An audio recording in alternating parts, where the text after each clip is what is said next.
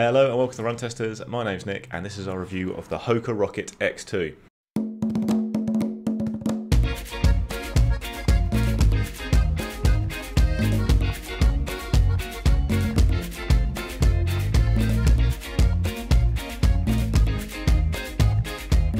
So the Rocket X2 is a very exciting shoe. It's Hoka's first real deal super shoe, in my opinion. We've had the Carbon X line and the original Rocket X, but they were probably more in the trainer racer category. Didn't really have the foams that matched up to the best super shoes on the market, and they were coming in a bit cheaper. But this is a full-on super shoe with a big stack of PEBA foam in the midsole and a price to match the best super shoes on the market. It's £220 in the UK and $250 in the US. It's a nice lightweight shoe weighing 225 grams or 7.9 ounces in my UK size 9 and it's got a 5mm drop with a stack height of 36mm at the heel and 31mm at the forefoot. So Hoka's opted against going right up to the 40mm limit set by World Athletics but it is a 6mm jump on the stack height of the original Rocket X. Got a lightweight synthetic mesh upper with some internal structure added, especially around the midfoot. There's not a lot of support at the heel there, but you have got a little bit of cushioning and little thin lines there that uh, cradle the back of the foot a little bit on the run. Then you've got a PEBA midsole. So Hoka says this foam has got better rebound than the uh, EVA foams used in the Carbon X and Rocket X, and really this is what we've been asking for from Hoka for a while is a, you know, a better midsole foam that delivers a bit more of the bouncy, soft feeling you get from the best foams on the market, and that's what we've got here in the Rocket X2. It's a dual density midsole with a slightly softer layer of foam on the top, but to the touch, uh, not that different in terms of the firmness you've got there, but in theory the bottom layer is slightly firmer than the top one, and you've got a full length, a scooped carbon plate running between those layers of foam. On the outsole, you've got basically rubber coverage in all the key impact areas you'd expect, two strips at the back, good forefoot coverage, and then a nice big cutout to reduce the weight of the shoe in the middle there. So it's just to be me in this review. Had a little bit of trouble getting hold of these samples, and Mike, who has got them, has been injured lately, so hasn't been able to test them, but we will come back with more thoughts down the line through comparisons to other shoes and race tests where hopefully we can give you a multi-tester perspective. So the fit of the Hoka Rocket X2 has been a little bit tricky for me. Like the length is good, I'd say. Like I like the fit in my in the toe box for me. It's got a reasonably tight racing shoe fit without being too cramped. Like even on longer runs, like sometimes I could feel like it was maybe slightly cramped on my right foot, but in general it was fine. A good length. I have quite a narrow foot though. Do bear that in mind. Some people might find it even more cramped than me. Problem I had though mainly was at the heel, where I did have heel rub on my left foot uh, over extended runs. It's probably not to do with this little slightly annoying flap that you can have up or down more almost the way that it bows in, I think, uh, the uh, heel on the shoe, and I did get a little bit of rubbing from this section.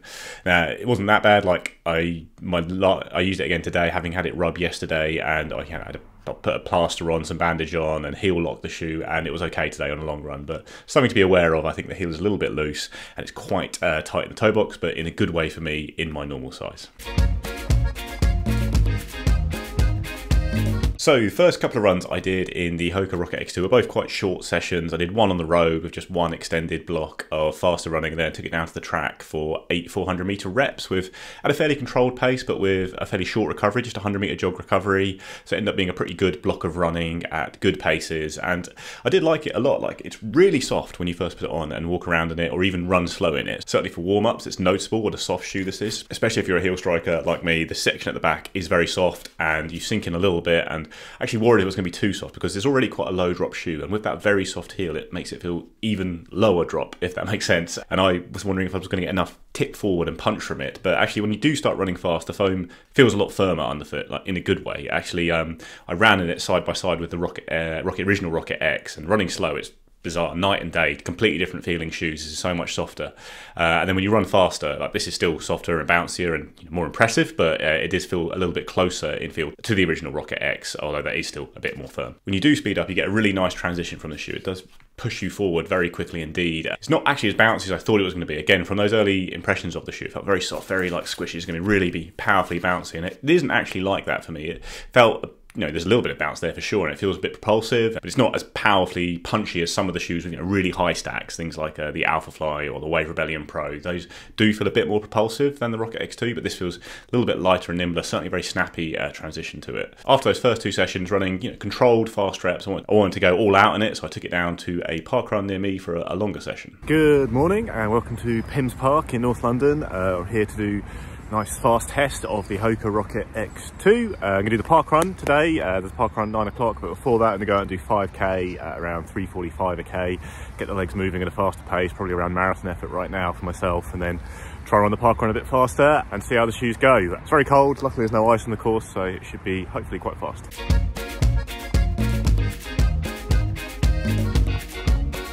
So first 5k done and that was that was good. I'm actually slightly concerned the GPS was kind to me because I was ticking along kind of mid 330s there and I thought I'd be more like 340 but um, you know hard to judge pace right now it's cold my feet are numb so that makes it difficult to judge pace park run's about to start I aim to try and go sub 17 and just see how it goes. I have a slightly iffy record at this park run of not quite hitting what I want to. But, but today, really, the aim is just to put a hard run into the Hokas, see how they feel uh, when I'm really flagging in those final 2K.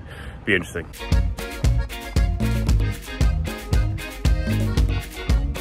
So all wrapped up now. I did the park run in 1640, so quite pleased. I thought it was probably going to be a bit more of a struggle today after a few weeks of building back up slowly. Like when I did uh, that, I did, if, if, you've been watching the channel, I did like a 1559 in the Mizunos at Battersea Park a few weeks back. After that, had a little bit of a setback with the knee and then have built back up. So that was first kind of time really going all out since then and that was quite a good run so pleased with that shoe felt um, really good for the first few bits and i think uh, as I rocked back a bit towards the end, like with the lower drop and the very soft heel it has as a heel striker, and I'm starting to flag a bit there. Not sure I was getting quite the propulsion and tip forward I get with some other shoes, but then in the last K I managed to pick it up again and it was fine.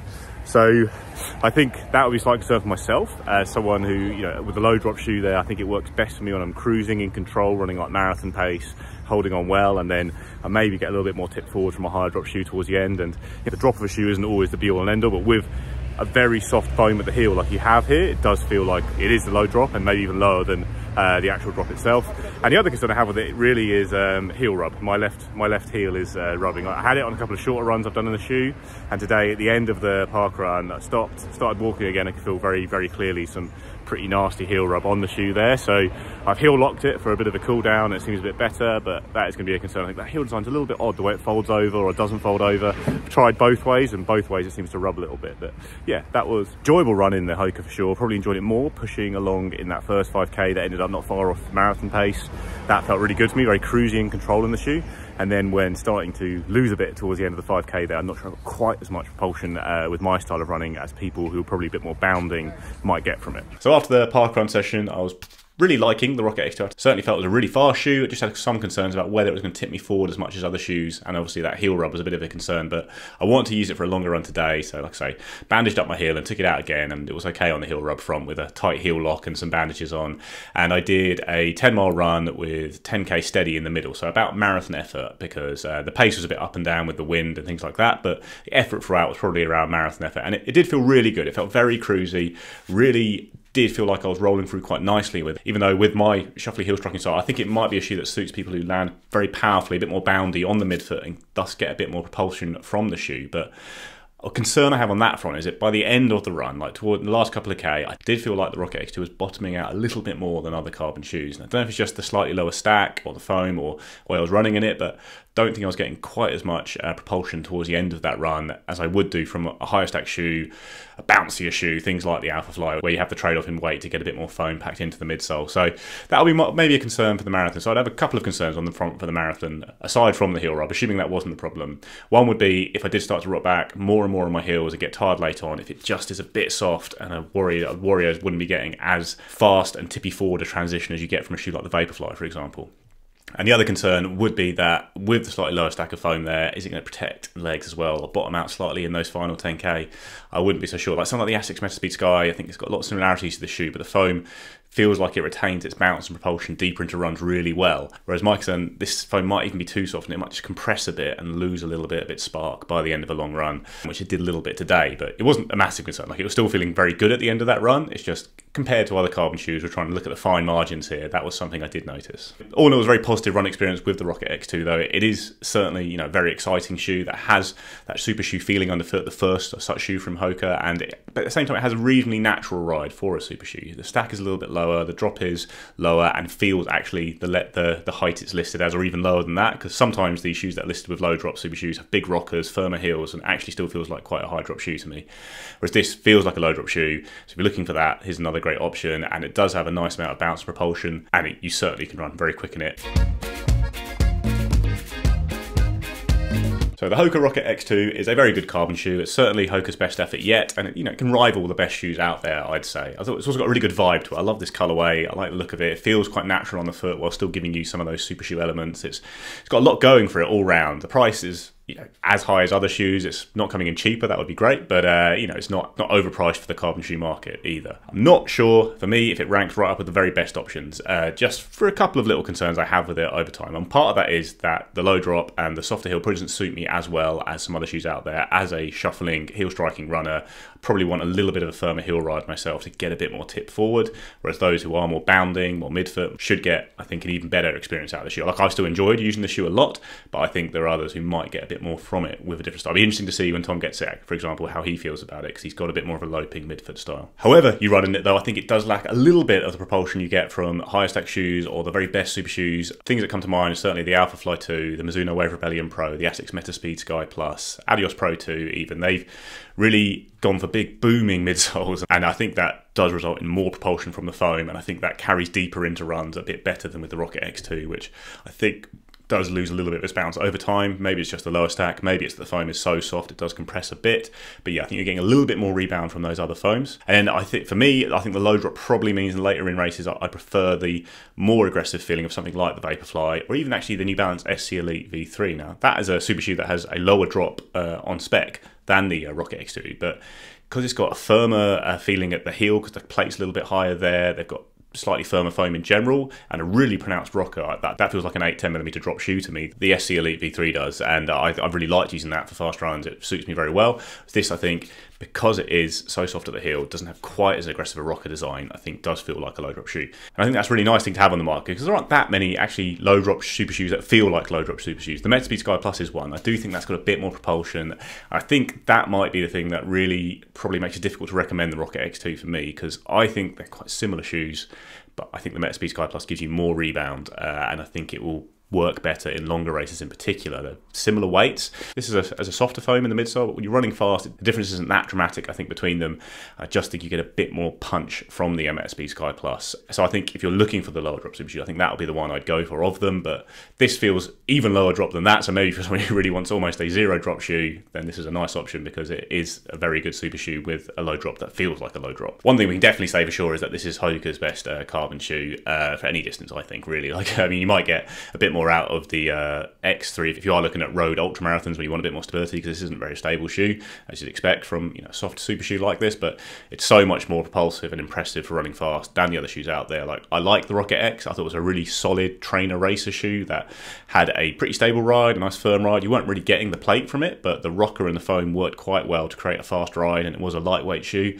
But this is a level up in terms of performance I think and the very clear pick in Hoka's range so far. I think there's some rumours that they're going to do a short distance carbon shoe as well, which I find interesting because I think, I think this is probably at its best on short distances, but that'll be interesting to see. because That should hopefully have a lot of elements from this shoe, but in a really lightweight design, and that'll be quite an interesting option. So yeah, like I say, I really like the vibe of the Rocket X2. I think it's a great option for shorter races, I think, and you will get a slightly more natural feel. The lower drop helps a bit with stability as well. I think it's a really good one for tearing up a 10k. It's certainly great for half marathon and marathon as well. I think it'd be a really good option for lots of people. I personally would go for a more propulsive, slightly higher stack shoe with maybe a slightly firmer foam that you know maintains its uh, its rebound throughout runs a bit better than I found with the Rocket X2. And like I always say, these are really fine margins when it comes to carbon shoes. That It's a really good shoe. You can run very fast in it and really love using it. I just think personally, you're going to get slightly more from uh, slightly more propulsive shoes for the marathon. And then it might come down more a question of taste and whether you want the lower drop of this shoe, the softer feel, or slightly firmer, higher drop shoe, which I find tips me forward a little bit better late into races. But others will disagree on that. That'll be down to personal preference.